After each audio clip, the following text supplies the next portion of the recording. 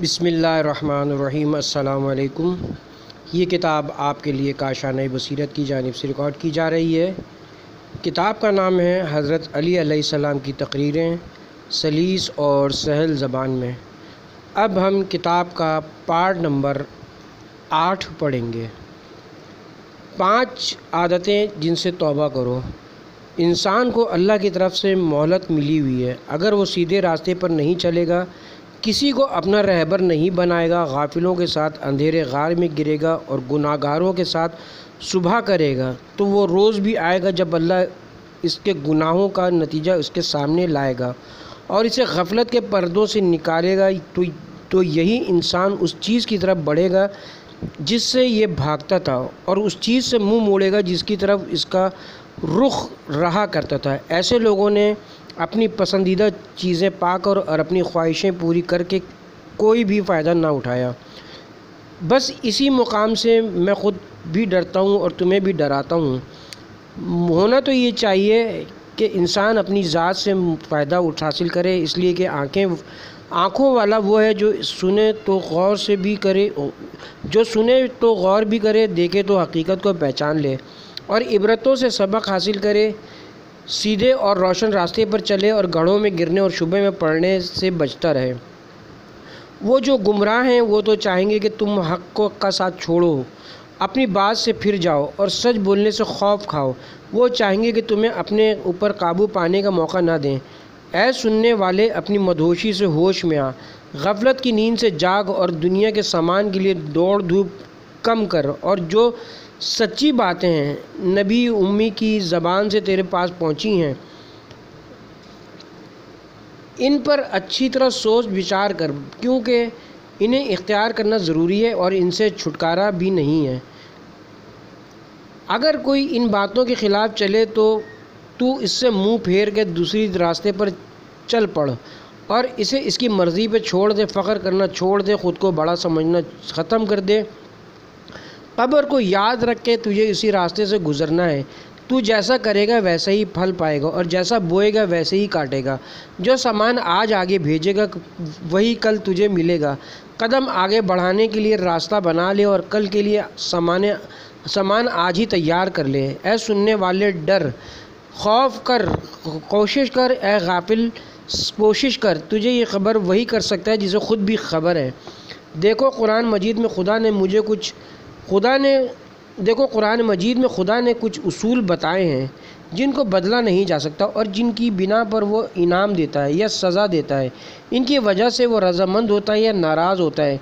इन उसूलों में ये भी बताया गया कि इंसान कितनी इबादत करे और कितने खलूस से इन पर अमल करे। मैं दो चार आदतें बताता हूँ कि अगर ये आदतें इंसान में मौजूद हैं और वो इनको छोड़े बग़ैर और इन पर तौबा किए बगैर मर जाए तो खुदा के सामने हाजिर होना कुछ फ़ायदा नहीं पहुँचा सकेगा। एक तो ये कि इबादत में सोचता हूँ कि कोई और भी अल्लाह का शिर शरीक है। दूसरे ये कि किसी की जान लेकर अपना गुस्सा ठंडा किया हो। तीसरा ये कि दूसरे के काम पर ऐब लगाया हो। चौथे ये कि दीन में कोई नई रस्म जारी करके अपना काम निकाला हो। और पांचवा पांचवी ये कि लोगों से दो रुखी चाल चलता हो या कुछ लोगों से कुछ कहता हो और दूसरे लोगों से कुछ, इन बातों को समझ लो क्योंकि ये मिसालें इनसे मिलते जुलते लोगों के लिए रहनुमा हुआ करती हैं। जो चौपाए हैं, इनकी ज़िंदगी का मकसद अपना पेट भरना है। जो दरिंदे हैं, इनकी ज़िंदगी का उसूल एक दूसरे को फाड़ खाना है। जो औरतें हैं, इनका साज, इनका सारा ज़ोर बनाओ सिंगार और फसाद पर है। मोमिन वो हैं जो गुरूर और घुमंड से दूर रहते हैं, जो मेहरबान हैं और जो अल्लाह से डरते हैं। कहा जाता है कि यह हज़रत अली अलैहिस्सलाम ने ये तकरीर इस वक्त की जब वो बसरा की तरफ़ जा रहे थे, जहाँ बाद में वो जंग हुई, जो जंग जमल कहलाई और जिसमें हज़ारों जाने गईं। हम रसूल से किस तरह करीब हैं? अक्लमंद वो है जो दिल की आँखों से अपना अंजाम देख लेता है और इसकी ऊंच नीच को पहचान लेता है। दावत देने वाले ने दावत दी और हिफाजत करने वाले ने हिफाजत की। अब तुम तुम्हारा फ़र्ज़ है कि दावत देने वाले की आवाज़ पर उठ खड़े हो और हिफाजत करने वाले के कदमों के निशान पर चलो। लोग फितनों के दरिया में डूब गए हैं और रसूल की सुन्नत को छोड़कर नई नई रस्में ईजाद कर ली हैं। जो मोमिन हैं वो चुपचाप, वो चुप सादे बैठे हैं और भटके हुए झूठे लोग बोलने के, बोलने लगे हैं। हम रसूल से इस तरह करीब हैं जैसे बदन पर लिबास होता है। हम इनके ख़जाना दार हैं और इनके दरवाज़े हैं। और यूँ भी घरों में दरवाज़ों ही के रास्ते आया जाया आया जाता है, जो दरवाज़ों को छोड़कर कि, किसी और तरफ़ से आए, वो चोर कहलाता है। इसी खुतबे का एक हिस्सा, इन्हीं क़राबतदारों के बारे में कुरान की नफीस आयतें उतरी हैं। वही अल्लाह के इल्म के ख़जाने हैं, लिहाजा जब बोलते हैं तो सच कहते हैं, और जब चुप रहते हैं तो किसी और को बात में तो किसी और को बात में पहल करने का हक़ नहीं होता। हर कौम के रहनुमा का फ़र्ज़ है कि अपने पीछे आने वालों से सच बोले, अपनी अकल को कम ना होने दे। आखिरत की तरफ़ जाने वालों में शामिल हो, क्योंकि वो उधर ही से आया है और इसी और इसे पलट कर उधर ही जाना है। यकीनन दिल की आँखों से देखने वाले और देखकर अमल करने वाले का अमल जब शुरू होता है तो इसे मालूम होता है कि अमल इसके लिए फ़ायदा मंद है या नहीं। अगर फ़ायदा मंद है तो इसे अंजाम देता है और अगर नुकसानदेह है तो बाज रहता है। जिसे इल्म ना हो और वो अमल करे तो वो ऐसे गलत रास्ते पर चल निकलता है कि जिस कदर रास्ता तय कर, करता जाता है मंजिल से दूर होता जाता है। अलबत्त इल्म के साथ अमल करने वाला साफ़ और रोशन रास्ते पर चलता है। इसलिए देखने वाले को ये देखना चाहिए कि वो आगे बढ़ रहा है या पीछे हट रहा है। और याद रखो कि इंसान जैसा बाहर से नज़र आता है अंदर से भी वैसा ही होता है। जिसका ज़ाहिर अच्छा होता है इसका बातिन भी अच्छा होता है। और जिसका ज़ाहिर ख़राब होता है, इसका बातिन भी ख़राब होता है। सच्चे रसूल ने कहा है कि ये हो सकता है कि अल्लाह एक बंदे को दोस्त रखे। इसके ईमान पर ना, इस पर इसके ईमान पर होने की वजह से, लेकिन इसके अमल से बेजार रहे और कभी अमल को दोस्त रखे और अमल करने वाले से बेजार रहे। इसके ईमान पर ना होने की वजह से। तुम्हें मालूम होना चाहिए कि अमल एक उगने वाले सब्ज़े की तरह है और सब्ज़ा पानी के बगैर नहीं रह सकता। जबकि पानी तरह तरह का होता है, लिहाजा जहाँ पानी अच्छा होगा, पैदावार भी अच्छी होगी और फल भी मीठे होंगे। और जहाँ पानी बुरा होगा, पौधे भी बुरे होंगे और फल भी कड़वा होगा। चिमगादड़ कैसा अजीब व गरीब है। सारी तारीफ़ उस अल्लाह के लिए जिसके मुतालिक इल्म की हकीकत को बयान करना मुमकिन नहीं है और जिसकी अज़मत ने अक़ल को आगे बढ़ने से रोक दिया है। लिहाजा ये अक़ल इसकी सल्तनत की हदों तक नहीं पहुँच पाती। अल्लाह ही हक़ है और उसने हर, हम पर यह बात खोली है कि हक़ क्या है। वह उन चीज़ों से भी ज़्यादा खुला हुआ है और सामने है जो आँखों को को नज़र आती है। लेकिन ये मुमकिन नहीं कि अकलें उसकी सरहद मुकर करें और वहाँ तक जा पहुँचें और फिर बताएँ कि वो कैसा है। ना समझ बूझ के समझ बूझ के लिए मुमकिन है कि इसकी मकदार मुकर करें और फिर बताएँ कि वो कितना है। ये जो इसकी मखलूक है, इसे बताते हुए इसके सामने कोई मिसाल ना थी। ना किसी से इसने मशवरा लिया था और ना किसी ने इसका हाथ बटाया था। इसने जो कुछ बनाया और अकेला जो, इसने जो कुछ बनाया, अकेले इसी के हुक्म से बना। और इस तरह जो कुछ भी बना, वो उसके आगे झुक गया। इस मखलूक ने इसके हुक्म को माना मुखालफत नहीं की, इसकी तामील की मज़ामत नहीं की। उसने ये तमाम चीज़ें बड़ी बारीकियों से बनाई हैं, जिनके बनाए जाने में उसी की अजीब सोच शामिल है। इसकी एक मिसाल चिमगादड़ है। सूरज की रोशनी का दामन हर चीज़ के लिए फैला हुआ है, लेकिन यही रोशनी चिमगादड़ की आँखों को सुकेड़ देती है। और रात का अंधेरा जो हर एक के आँखों पर नकाब डाल देता है, चिमगादड़ की आँखों को खोल देता है। खुदा ने इसे सूरज की रोशनी में निकलने से रोक दिया है और उजाला फैलते ही इसे इसके ठिकानों में छुपा देता है। दिन में वो अपनी आँखों पर पलकों का पर्दा डाले रखता है, रहता है। लेकिन रात के अंधेरे को वो अपना चराग बनाकर खाने की तलाश में निकलता है। अंधेरे इसकी आँखों को देखने से नहीं रोकते और न घटा टोप तारीकी इसको रास्ता ढूँढने से बाज रखती है। मगर जब सूरज अपने चेहरे से नकाब हटाता है और दिन के उजाले उभरने लगते हैं और किरणें बिज्जू के भट्ट के अंदर तक पहुँच जाती हैं तो ये अपनी आँखों पर पलकों का पर्दा डाल लेता है और रात के अंधेरे में जो कुछ बचा कर रखा था इस पर गुजारा करता है। क्या कहना उस मबूद का जिसने उसके लिए रात को दिन और रोज़ी की तलाश का वसीला बना दिया और दिन को सुकून और आराम का वक्त करार दिया। इसके लिए गोश्त के ऐसे बाजू बनाए जिनके सहारे वो उड़ते वक्त ऊँचा होता है। ये बाजू ऐसे नरम है जैसे इंसान के कान की लोहें जिनमें ना हड्डियाँ, जिनमें ना हड्डियाँ हैं हैं ना मगर रगे साफ़ नज़र आ रही हैं। इसके दो बाजू हैं जो इतने नाजुक भी नहीं कि फट बढ़ाते वक्त फट जाएँ और इतने भारी भी नहीं कि उड़ने में रुकावट डालें। जब वो उड़ता है तो इसका बच्चा इससे चिमटा रहता है और इसकी पनाह में रहता है। माँ जब नीचे उतरती है तो बच्चा साथ होता है और जब ऊपर उठती है तो बच्चा साथ बुलंद होता है और उस वक्त तक इससे अलग नहीं होता जब तक इसका बदन मज़बूत ना हो जाए। इसके पर इसका मज़बूत, इसके पर इसका बोझ उठाने के काबिल ना हो जाए और वो अपनी रोज़ी के रास्तों और ज़रूरत के ठिकानों को पहचान ना ले।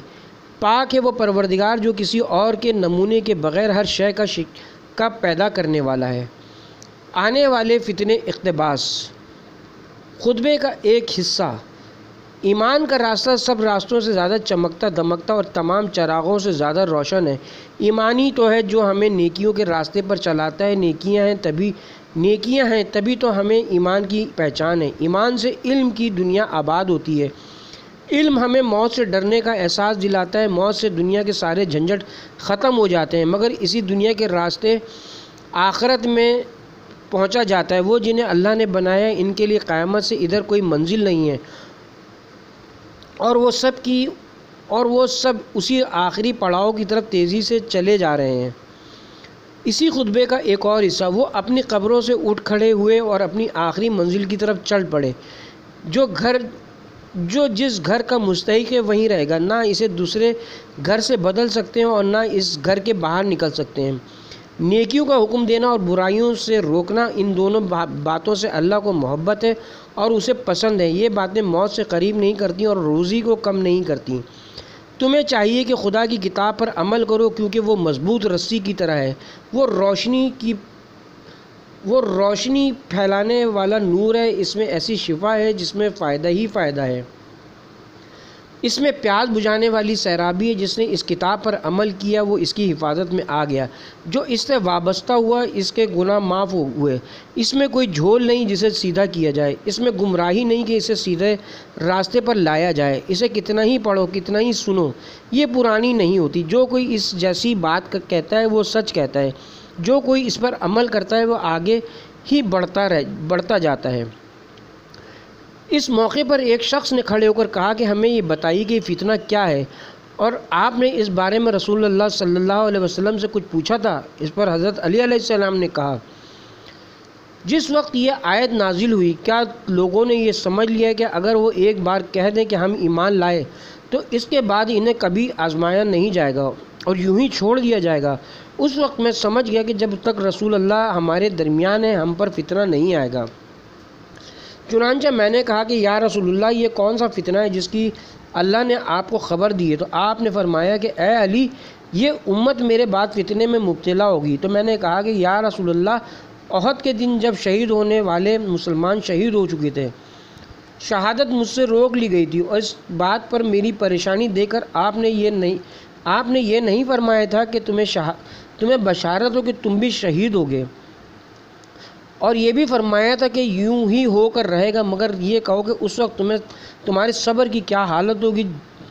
तो मैंने कहा था कि या रसूलुल्लाह, वो सब्र का नहीं, खुशी और शुक्र का मौका होगा। फिर हज़रत सल्लल्लाहु अलैहि वसल्लम ने फरमाया, ए अली, हकीकत ये कि लोग मेरे बाद माल और दौलत की वजह से फितनों में पड़ जाएँगे। और ख़ुदा पर अपने दीन का एहसान जताएँगे। इसकी रहमत की आरज़ू तो करेंगे, लेकिन इसके अजाब से निडर हो जाएँगे।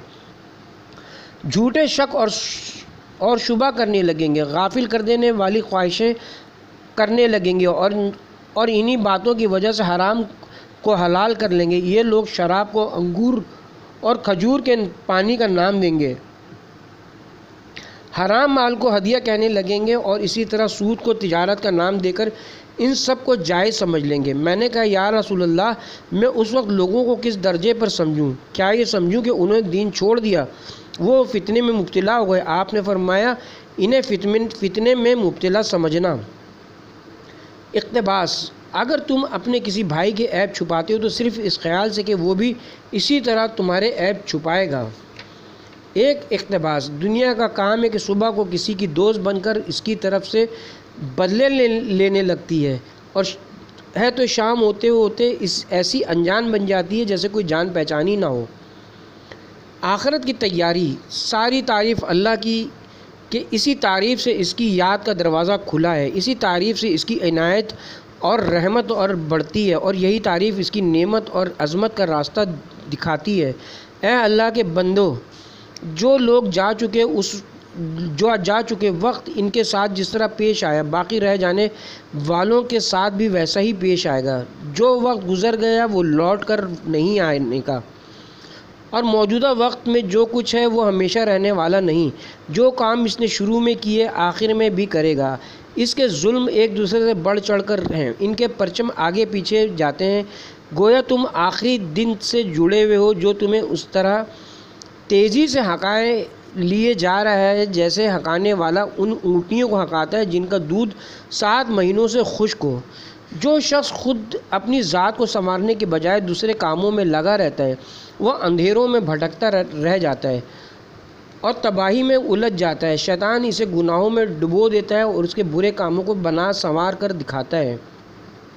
जो लोग जो लोग नेक अमल के साथ आगे बढ़ते हैं, इनका सफ़र जन्नत में तमाम होता है और जो गुनाहों में पड़े होते हैं, इनका ख़ात्मा दोजख में होता है। ए अल्लाह के बंदो, याद रखो कि नेकी एक मज़बूत किला है और बदी एक कमज़ोर चार दीवारी है कि जो ना अपने रहने वालों को तबाहियों से बचा सकती है और ना ही, और ना पना मांगने वालों की हिफाजत कर सकती है। जान लो कि गुनाहों का डंक नेकी ही से निकाला जा सकता है और पुख्ता ईमान के ज़रिए ही सबसे ऊँची मंजिल हासिल हो सकती है। ए अल्लाह के बंदो, अल्लाह से डरो, ख़ुद अपनी ज़ात के मामले में अल्लाह से डरो, जो तुम्हें बहुत प्यारी और नहायत अज़ीज़ है, क्योंकि अल्लाह तुम्हें सच्चाई का रास्ता साफ़ साफ़ दिखा चुका है और इस रास्ते को रोशन कर चुका है। लिहाजा अब दोनों में से एक चीज़ चुन लो, या तो हमेशा की बदनसीबी या हमेशा की खुशी। तुम्हें चाहिए कि उन हमेशा रहने वाले दिनों के लिए, आज मिट जाने वाले दिनों के दौरान ही ज़रूरत का माल इसबाब जमा कर लो।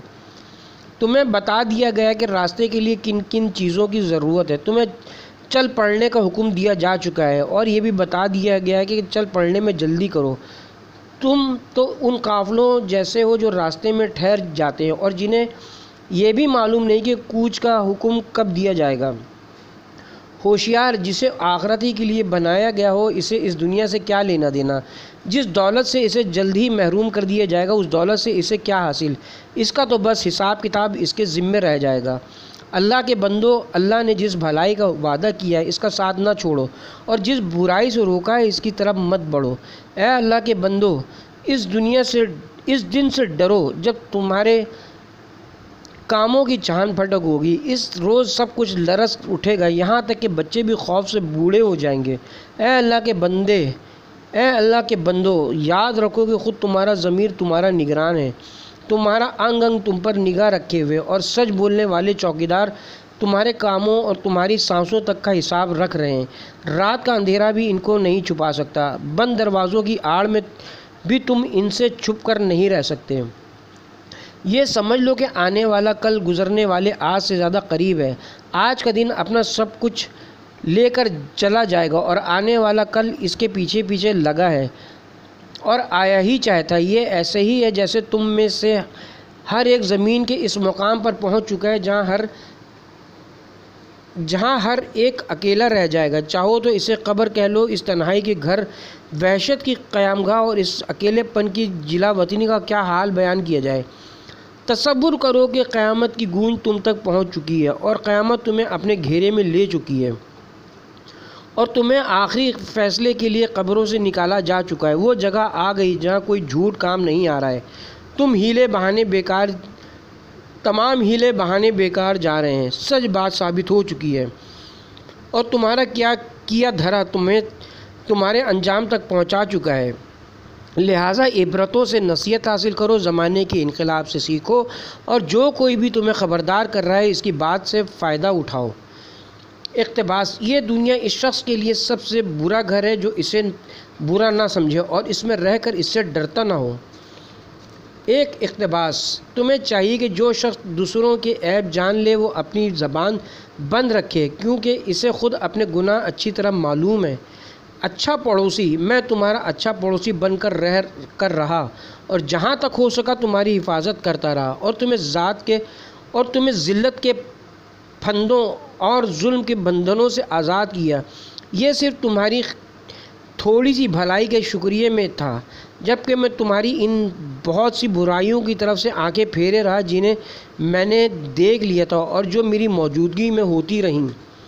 एक इकतबास इबरतों से नसीहत हासिल करो, ज़माने के इनकलाब से सीखो और जो कोई भी तुम्हें ख़बरदार कर रहा है, इसकी बात से फ़ायदा उठाओ। अल्लाह की तारीफ़। अल्लाह के हुक्म में इंसाफ़ी इंसाफ है और हमती हमत है। वो खुश है तो इसी में अमान है और रहमत है। वो फ़ैसला करता है तो इल्म इससे, वो फ़ैसला करता है तो इल्म से और माफ़ करता है तो नरमी से। परवरदिगार, तू जो कुछ ले लेता है, वो जो कुछ दे देता है, तू जो शिफा देता है और जो इम्तिहान लेता है, मैं इन सब पर तेरी तारीफ़ करता हूँ। ऐसी तारीफ़ जो तुझे बेहद पसंद हो। नहायत महबूब हो और हर तारीफ़ से बढ़ कर हो। इतनी तारीफ़ के सारी कायनात इससे भर जाए और जहाँ तक तू चाहे, वहाँ तक पहुँचे। ऐसी तारीफ़ जिसके रास्ते में कोई रुकावट ना हो और ना तुझसे, तुझ तक पहुँचने से रोकी जा सके। ऐसी तारीफ़ के जिसे गिना जाए तो गिनती ख़त्म। तो गिनती ख़त्म ना हो और यूँ जारी रहे कि कभी तमाम ना हो। तू कितना बड़ा है हम नहीं जानते, मगर इतना जानते हैं कि तू मौजूद है और सारी दुनियाएँ तेरे इरादे से कायम है। तेरे लिए ना गनूदगी है और ना नींद। ना कोई नज़र तुझ तक पहुँच सकती है और ना देखने की क़ुवत तुझे पा सकती है। अलबत्त तू हर निगाह को देख रहा है और उम्रों का शुमार कर चुका है। लोगों के माथों से पैरों तक सब कुछ तेरी गिरफ्त में तूने जो कुछ बनाया हम इसे देख रहे हैं। तेरी कुदरत पर हैरान है और तेरी इन बड़ी सल्तनत पर तेरे गुण गा रहे हैं। लेकिन ये सब तो कुछ, लेकिन ये सब तो कुछ भी नहीं है। तेरी जो मखलूक हमारी निगाहों से ओझल है, जिस तक हमारी नज़र नहीं पहुँच सकती और जिसके करीब जाकर हमारी अकल ठहर गई है। और जहाँ हमारे और तेरी मखलूक के बीच पर्दे पड़े हुए हैं, वो वो तो कहीं ज़्यादा अजीम है। लिहाजा अगर कोई अपना दिल हर तरह के वहम से खाली कर ले, गौर और फ़िक्र से काम ले और समझना चाहे कि तूने ये कायनात कैसे फैलाई रंग रंग की मखलूक कैसे पैदा की और फ़िज़ाओं में आसमान को कैसे बिछाया, और पानी की मौजों पर ज़मीन को किस तरह फैलाया तो इसकी निगाह थक कर पलट आएगी। अकल हार जाएगी, कान दंग रह जाएँगे और फ़िक्र अपना रास्ता भूल जाएगी। इकतबास, जो बातें तुम नहीं जानते, इन्हें मुँह से ना निकालो, क्योंकि ज़्यादातर सच्चाई इन्हीं चीज़ों में है जिनसे तुम बेखबर हो। पैगंबरों की बातें। कुछ लोग ये समझ बैठे हैं और ये दावा करते हैं कि वो अल्लाह की रहमत के उम्मीदवार हैं, खुदा की कसम वो झूठे हैं। ये कैसे मुमकिन है कि जो रहमत का उम्मीदवार हो, इसके अमल में इस ख्वाहिश की झलक नज़र ना आए? हर उम्मीदवार के किरदार में उम्मीद की किरण नज़र आ जाती है, लेकिन अल्लाह से लगाए जाने वाली उम्मीद नहीं झलकती। क्योंकि इसमें खोट होती है। इसी तरह हर डर और हर खौफ नज़र आ जाता है।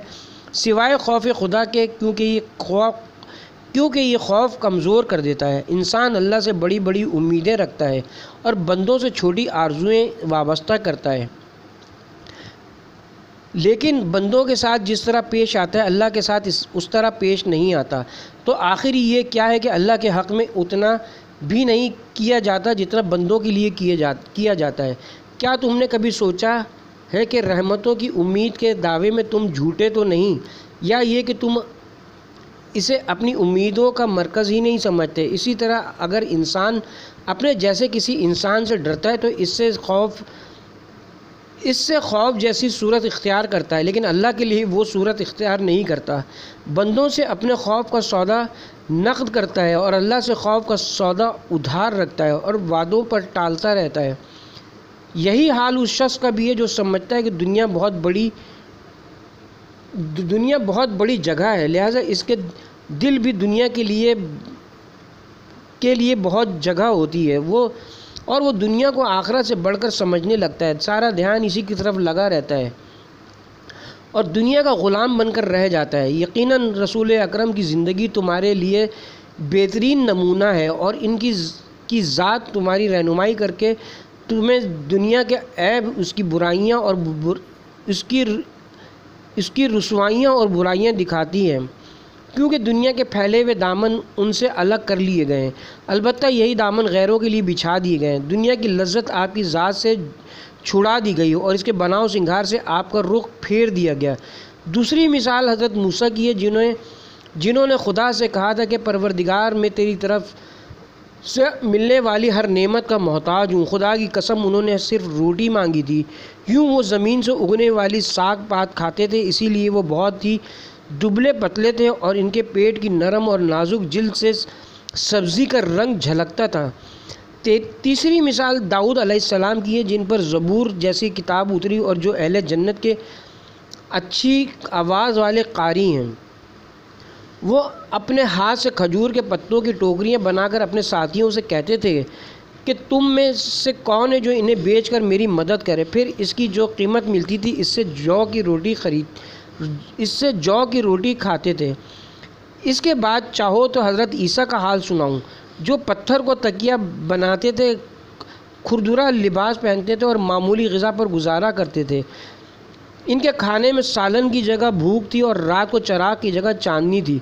सर्दियों में वो ज़मीन के मशरक़ी और मगरबी कोनों में पना लेते थे और जो सब्ज़ी चौपाओं के लिए उगती है, वही इनके फल और फूल थे। इनकी बीवी ना थी, जो इन्हें दुनिया के मामलों में उलझाती। इनके बच्चे ना थे, जो इन्हें ज़माने की फ़िक्र में डालते। इनके पास दौलत ना थी, जो इनका ध्यान भटकाती, इन्हें कोई लालच ना थी। जो ज़िल्लत का सबब बनती, इनके दो पाँव ही इनकी सवारी थे और दो हाथ ही इनके खादिम थे। तुम लोग अपने पाक और पाकिज़ा पैगंबर के कदमों के निशान पर चलो, क्योंकि नबी जैसी ज़िंदगी गुजारने के लिए पैगंबर इस्लाम की ज़ात सबसे अच्छा नमूना है। और सब्र करने वालों के लिए इनकी मिसाल सबसे ज़्यादा ढारस बंधाती है। उनके कदमों के निशान पर चलने वाले ही अल्लाह को सबसे प्यारा है। उन्होंने दुनिया से अपना बहुत थोड़ा सा हिस्सा लिया और कभी दुनिया को आँख भर कर नहीं देखा। दुनिया के तमाम लोगों में वो सबसे ज़्यादा भूख में बसर करने वाले और खाली पेट रहने वाले थे। उन्हें दुनिया पेश की गई तो उन्होंने कबूल करने से इनकार कर दिए। उन्हें मालूम था कि अल्लाह को कौन सी चीज़ नापसंद है तो वो भी इस चीज़ से नफ़रत करते थे। अल्लाह जिस चीज़ को गिरा पड़ा समझते थे वो भी इसे घटिया समझते थे। और अल्लाह जिस चीज़ को हकीर जानता है वो भी इसे हकी हकारत की निगाह से देखते थे। अगर हम सिर्फ़ ए, यही एक चीज़ हो कि हम इस शय को चाहने लगें जिसे अल्लाह और रसूल बुरा समझते हैं और इस चीज़ को बड़ा समझने लगे जिसे वो हकीर जानते हैं तो खुदा की नाफरमानी और हुक्म अदूली किए किए लिए ये क्या कम जुर्म है? रसूल अल्लाह सल्लल्लाहु अलैहि वसल्लम ज़मीन पर बैठकर खाना खाते थे और ग़ुलामों की तरफ़ बैठते थे। अपने हाथ से जूती टाँगते थे और अपने हाथों से कपड़ों में पेवन लगाते थे, बग़ैर पालान के गधे पर सवार होते थे। और अपने पीछे किसी को बैठाकर सफ़र में शरीक कर लिया करते थे। आपके घर के दरवाज़े पर कभी ऐसा पर्दा पड़ा होता जिस पर तस्वीर बनी होती तो अपनी बीवियों से कहते कि इसे मेरी नज़रों से दूर कर दो। क्योंकि इस पर मेरी निगाह पड़ी निगाह पड़ी तो दुनिया और इसकी सजावट जहन में आएगी। इस तरह आपने दुनिया से दिल लगाना छोड़ा और इसकी याद को दिल से मिटाया। आप चाहते थे कि दुनिया की बनावट और सजावट नज़रों से दूर रहे, ताकि इन्हें दुनिया से अच्छा लिबास पाने की ख्वाहिश ना हो, ताकि वो दुनिया को ठहरने की जगह ना समझें, इसमें रह पड़ने की आरज़ू ना करें। नतीजा ये हुआ कि आपने दुनिया को जहन से निकाल, बाहर किया। इसे अपने दिल से दूर किया और इसे अपनी नज़रों से ओझल कर दिया। इसी तरह अगर किसी को किसी चीज़ से नफ़रत हो तो इसे चाहिए कि उस पर निगाह डालने से या इसकी बातें सुनने से भी नफ़रत करें। यकीन, यकीनन रसूल अल्लाह की ज़िंदगी में वो सारी बातें पाई जाती थी जो दुनिया के हर ऐब और यकीनन रसूल अल्लाह की ज़िंदगी में वो सारी बातें पाई जाती थी जो दुनिया के हर ऐब और ख़राबी की तरफ़ इशारा करती हैं कि आपने अपने ख़ास अफराद समेत भूखा रहना गवारा किया और अल्लाह से बहुत करीब होने के बावजूद ख़ुद को दुनिया की दिल लुभाने वाली चीज़ों से दूर रखा। देखने वाले को चाहिए कि अक़ल का चराग लेकर देखे इस तरह की ज़िंदगी से परवरदिगार ने अपने पैगंबर को इज़्ज़त दी या ज़िल्लत। कोई कहेगा कि अल्लाह ने इनकी तोहन की तो वो झूठा है और बोतान बांधता है। अगर और अगर कोई, और अगर कहे कि आपकी इज़्ज़त बढ़ाई तो इससे समझ लेना चाहिए कि चाहिए कि अल्लाह ने आपके मुखालिफों को इस तरह ज़िल्लत दी कि इनके लिए सारी दुनिया खोल दी, लेकिन इनके लेकिन इनको अपने करीब तरीन बंदे से दूर रखा। अब हर शख्स को रसूल रसूल अकरम का रास्ता इख्तियार करना चाहिए। आपके कदमों के निशान पर चलना चाहिए और आप ही की मंजिल में दाखिल होना चाहिए, वरना तबाही से महफूज ना रह सकेगा। परवरदिगार ने पैगंबर इस्लाम को जन्नत की खुशखबरी सुनाने वाला, अल्लाह के अजाब से डराने वाला और क़्यामत की खबर देने वाला बनाकर भेजा। आप दुनिया से भूखे गए मगर आखरत की मंजिल में सलामती के साथ दाखिल हुए। आपने अपने लिए इमारतें नहीं खड़ी की और दुनिया से रुखसत हुए और अपने परवरदिगार की आवाज़ पर सर झुका दिया। ये खुदा का हम पर बहुत बड़ा एहसान है कि इसने हमें ऐसा रहबर दिया जिसकी तरह हमें जीना चाहिए और ऐसा कायद दिया जिसके कदमों के निशान पर हमें अपने कदम जमाने चाहिए। खुदा की कसम में, मैंने अपनी कमीज़ में इतने पैवन लगवाए हैं कि ये, के अबरफू घर को देते हुए शर्म आने लगी किसी ने मुझसे कहा कि आप इसे फेंक क्यों नहीं देते? तो मैंने इससे कहा कि मुझसे दूर हो जा। सुबह हो जाए तब भी मुसाफिरों को एहसास होता है कि रात के सफ़र में कितने फ़ायदे थे।